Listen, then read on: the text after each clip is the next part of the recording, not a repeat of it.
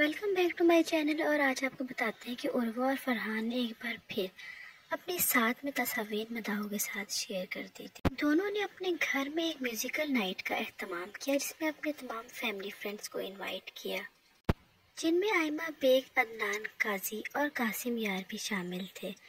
सबने मिलकर खूब ही इंजॉय किया और हल्ला गुला किया और उसके बाद साथ में डिनर भी किया।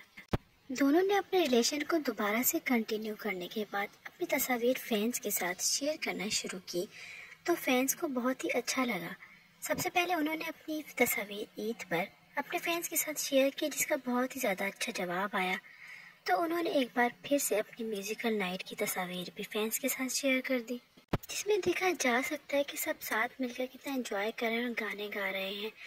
उर्वा और फरहान ने दोनों ने मिलकर एक साथ भी गाना गाया। फरहान और आयमा ने भी साथ गाना गाया है।